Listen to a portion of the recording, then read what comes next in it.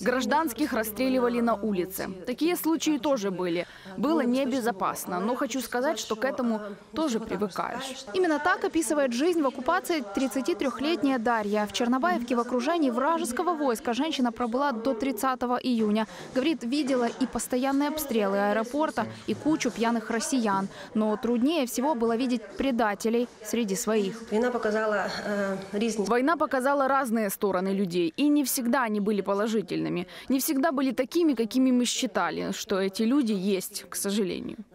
В оккупации Дарья передавала нашим военным координаты дислокации российских войск. Все надеялась на освобождение поселка. Но каждый день пребывания в Чернобаевке становилось все опаснее. Женщина решилась на эвакуацию. Лишь чудом она смогла преодолеть 36 российских блокпостов и, наконец-то, увидеть наш флаг.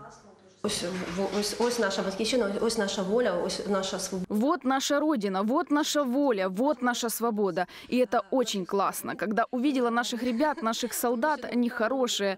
Там российские, они очень такие специфические. Возможно, мое отношение такое, но выражение их лица, оно злое. Вираз їх е, лиця він, він злий.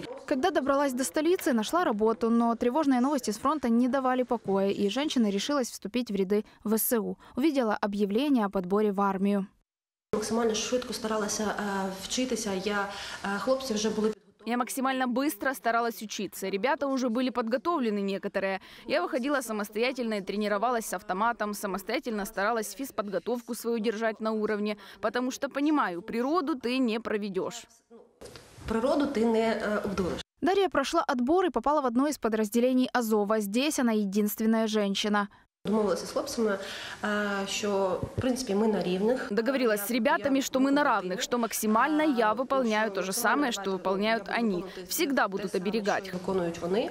Е, і- і- ну, і- ну, були е, завжди, вони завжди будуть е, оберігати. Хоч вони кажуть, да, дошикати наш Хотя говорят, да, ДШК, ты наш побратим, но я понимаю, что у них отношение ко мне немножко по-другому.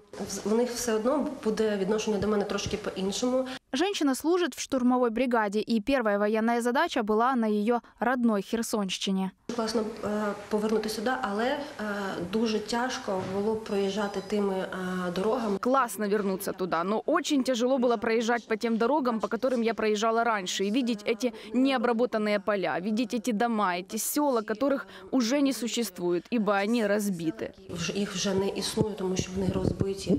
Затем был Донбасс. Ожесточенные бои под Бахмутом, неделя в окопах и в минус 11 градусов Дарья обморозила ноги. Командир настоял на лечении. Сейчас женщина на реабилитации в Прикарпатье. Там шолом ти там, наприклад, якщо ти на позиції е, Три-четыре дня ты даже шлем не снимаешь, потому что нет возможности совершенно. Ну, броник ты не имеешь права его снимать, потому что это твоя непосредственно безопасность.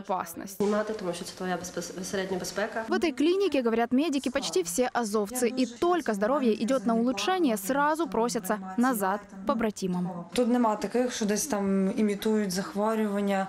Здесь нет таких, кто имитирует заболевания. Они полечились и уже готовы. Мне кажется, что сейчас, если пройтись по нашим палатам, большая половина или даже и все, только выпишите меня, и я уезжаю. Вернуться к своим планирует вскоре и Дарья. Повернути, в принципі, Мотивация одна – вернуть свой дом и вернуть ту жизнь, которая у нас была.